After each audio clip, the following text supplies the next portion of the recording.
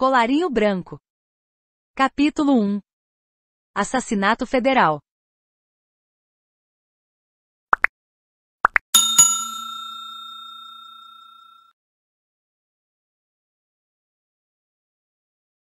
O gabinete do senador Henrique Portela atravessava a noite imerso na escuridão.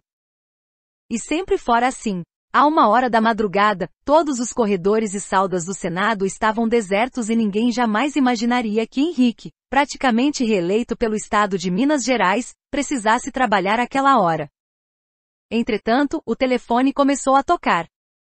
O som repetia-se em intervalos marcados de três toques e cessava. O chamado foi interrompido depois de soar pela quarta vez.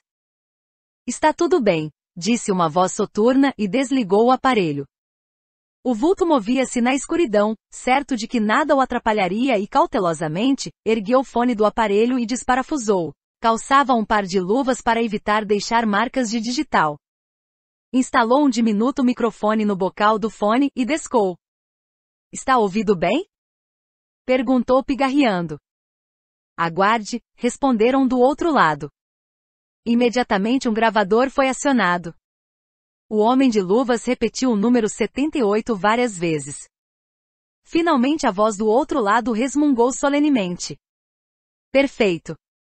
Pode desligar. O estranho apertou as luvas contra os dedos e iniciou uma pequena busca. Revirou os arquivos particulares do senador e em pouco tempo juntou sobre a mesa dele alguns documentos. Com uma câmara fotográfica acoplada a um flash especial, tirou uma longa série de fotos. Um após o outro, os papéis eram examinados e devolvidos na mesma ordem para a pasta. Remexeu nas gavetas e começou outra série de fotos, e finalmente deu-se por satisfeito. Enfiou a câmara no bolso da jaqueta marrom e saiu fechando delicadamente a porta. O homem de jaqueta chamava-se Miguel Campos e trabalhava para o Departamento da Receita Federal. As largas avenidas de Brasília desertas pelo rigoroso inverno, e a cidade submersa pela névoa observaram Miguel entrar num discreto Monza azul escuro e afastar-se vagarosamente. Tudo certo? Perguntou o motorista. Vamos para o escritório. Tenho que entregar um filme para revelação, comentou Miguel. Sim, senhor. O prédio do departamento era um imenso cubo de vidro negro, todo cercado por delicados pinheiros. Um foco de luz iluminava o número do prédio e para chegar à sua garagem dava-se uma volta ao quarteirão, entrando pelos fundos. Não havia guardas sonolentos como os do Senado. Câmaras de vídeo espalhadas pelas redondezas cumpriam eficazmente sua missão vigilante. A garagem do departamento parecia em festa, tal era o número de carros e motoristas espalhados. O vozeio ecoava pelas paredes lisas do estacionamento interno. Pode ir para casa, resmungou Miguel. Vou demorar. O funcionário da Receita Federal saltou do carro e entrou no elevador. Quando chegou ao 11 primeiro andar, a porta do elevador abriu-se e novamente, câmaras de vídeo registraram sua presença. Antônio Gonçalves aguardava-o. E então? Perguntou Gonçalves. Não sei, respondeu Campos descando o número de telefone interno do departamento. Alguma coisa interessante? Insistiu Gonçalves. Virgílio. Indagou Campos sem dar atenção a Gonçalves. Tenho um filme urgente para você. Revele-o e copie. Vou esperar. O funcionário da Receita Federal tirou o sobretudo e acendeu um cigarro. Gonçalves o observava sem perguntas. Amanhã conversaremos, disse Campos para o colega. Assim que o filme estiver pronto, vou para casa e verei o que posso dizer-lhe. Meu relatório deverá estar pronto lá pelo fim da tarde. O rapaz do laboratório apareceu e apanhou o filme sob número de ordem 78. Miguel procurou a pasta confidencial que tinha sobre o senador Portela, abriu-a e ficou lendo silencioso e preocupado. Na verdade, mais desnorteado do que preocupado. Preocupado. Até amanhã, despediu-se Gonçalves. Assim que ele deixou a sala, Miguel esticou as pernas e colocou os pés em cima da mesa, jogou a pasta para o lado, deu um longo bocejo e cerrou os olhos. Em alguns minutos, um ronco baixo e contínuo ficou a ecoar pela sala fria do departamento. Quando Virgílio voltou, quase uma hora depois da saída de Gonçalves, Miguel Campos estava mergulhado em sono pesado. O rapaz encostou o pesado envelope com mais de 20 fotos na perna de Campos, o que de nada adiantou. Chamou-o pelo nome e nada. Foi obrigado a dar um forte cutucão. O homem abriu os olhos, assustado. As fotos, senhor, disse Virgílio timidamente. Miguel levantou-se e pegou o envelope. Obrigado, Virgílio. Até amanhã, senhor Campos. Até amanhã. Não faça barulho, ele está chegando. Já sabe o que queremos. Certo, confirmou um homem alto e moreno, enquanto apertava o silencioso de sua automática. Quando Campos abriu a porta e entrou em casa, lembrou-se de que havia esquecido a pasta confidencial dentro do carro. Tirou o casaco enquanto acendia a luz da sala. Cansado como estava, não pensou em guardar o envelope com as fotos, jogou-o em cima do sofá e saiu para apanhar a pasta. Feche essa porta. E vire-se lentamente, ordenou uma voz atrás dele. Um frio subiu pela espinha de Miguel e o agente obedeceu sem hesitar. Passe as fotos para cá, continuou o assaltante. Como? Gaguejou Miguel sem entender o que estava acontecendo. Fotos, Vou contar até um, resmungou o homem, enquanto a ponto 38 entrava em cena, apontando direto para o estômago do agente. Quem são vocês? Indagou Miguel. Batman e Robin, senhor Campos. O agente jogou-se no chão e tentou arrastar-se para fora da casa. O assaltante apertou o gatilho. Uma vez para conter a fuga do agente e mais outra para liquidá-lo. O som da arma parecia o de uma pancada surda sobre uma almofada. Campos virou-se com o impacto e no seu rosto, uma expressão de pavor estampou-se. Veja que envelope é esse. Ordenou a voz inalterada. Em poucos segundos, o sangue do agente da Receita Federal começou a penetrar no tapete da sala. Sua feição foi transformando-se e empalidecendo. O horror foi substituído por uma palidez macilenta e a boca entreaberta movimentou-se. O braço esquerdo do agente contraiu-se num espasmo e o corpo virou ainda outra vez como se quisesse alcançar a porta. O assaltante examinou o conteúdo do envelope e grunhiu. Podemos ir. A automática ainda foi acionada, disparando na direção do corpo agonizante de Miguel Campos. A porta principal foi cerrada silenciosamente. Poucas horas depois, o dia amanheceu. Qual é o endereço, por favor? Rua Castelo Branco, 87. Venha imediatamente. A faxineira de Miguel Campos tremia da cabeça aos pés. Sentou-se no sofá e ficou observando por alguns instantes o cadáver gelado de seu ex-patrão. Logo levantou-se novamente e começou a passar aéreamente um pano de pó pelos móveis da sala. A polícia não demorou, e as perguntas começaram.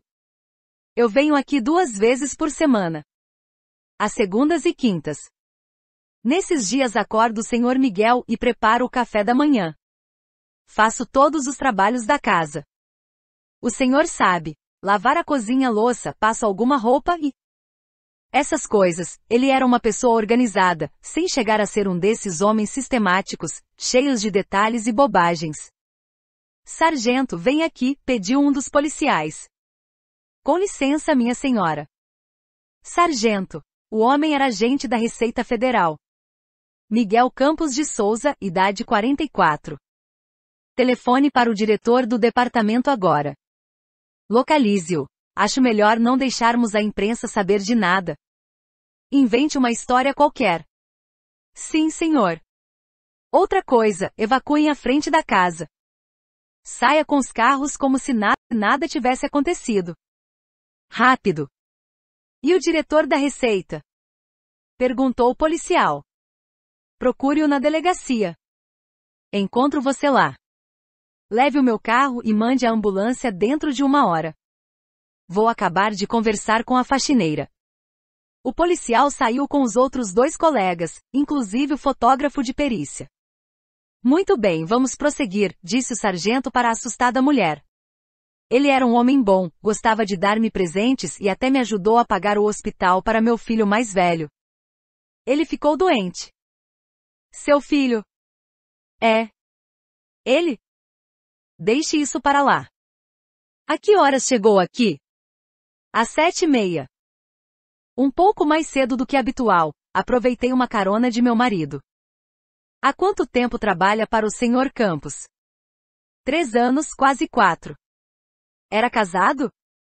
Separado da mulher? Viúvo, senhor. E não tinha filhos. A senhora mexeu em alguma coisa? Não, senhor. Tem certeza? Insistiu o sargento olhando para o corpo. Tenho. Muito bem. Escreva o seu endereço aqui. Nome completo. Sim, senhor. Tome esse dinheiro e vá para casa. Será chamada dentro de 24 horas para depor na delegacia. Pode ir. O tapete da sala havia endurecido, o sangue secara e em torno de Miguel formara-se uma estranha mancha avermelhada, contrastando com o tapete muito claro. O sargento sentou-se e ficou a observar a sala, tomou nota de algumas coisas e telefonou para a delegacia. Os policiais ainda não haviam chegado. Levantou-se e chegou até a janela. Não havia mais ninguém em frente da casa. Deu-se por satisfeito. O telefone tocou. Miguel? Indagou a voz do outro lado. Não. É o sargento Milton, sétimo, distrito policial. Podia chamar o Miguel, por favor. Quem está falando? Sargento. É Estevão Dourado. Diretor do Departamento de Investigações da Receita Federal. Chame-o. Não pode ser. Lamento. Miguel Campos foi assassinado pela madrugada. O quê? Miguel foi assassinado? Quando? Infelizmente. Ainda não sabemos a hora aproximada. O senhor pode vir aqui agora? Deixe a imprensa fora disso. Vou já para aí. Alguns minutos depois chegava o senhor dourado, pálido e afobado. Quando deparou com o cadáver do seu agente, mirou-o por alguns segundos e virou as costas. Caminhou até a janela e de lá começou a fazer perguntas ao sargento que nada podia dizer. O senhor é que poderia responder a algumas perguntas. Havia motivos para que Miguel Campos viesse a ser assassinado? Sem resposta, sargento. Como? Desejamos que o corpo vá para o legista. Essa será a participação da Polícia Estadual neste caso. Não tenho mais nada a dizer. Negativo, senhor Dourado. Não banque o cumpridor da lei, sargento. Miguel era um agente da Receita Federal. Agradeço por ter sido eficaz ao ponto de não ter deixado a imprensa intrometer-se neste assunto. Isso será mencionado ao tenente de seu distrito policial. Você agiu com astúcia. Além do mais, não faço a menor ideia do motivo da morte de Miguel. Sei quase tanto quanto você, sargento. Eu gostaria de dizer que. Não perca o seu tempo. Será que não fui o suficiente claro? Muito bem. Vou aguardar o legista. A autópsia será enviada para a Receita Federal. Quem ficará a cargo da investigação? Hum, resmungou desplicente dourado, virando as costas para o policial. Ligue para a Polícia Federal e mande chamar Júlio Pontes. O diretor, se é que lhe interessa. E por favor, nada mais de perguntas. O sargento vacilou por alguns instantes, Dourado aproximou-se da janela e ali ficou em silêncio. O policial relutou, mas acabou ligando para a Polícia Federal.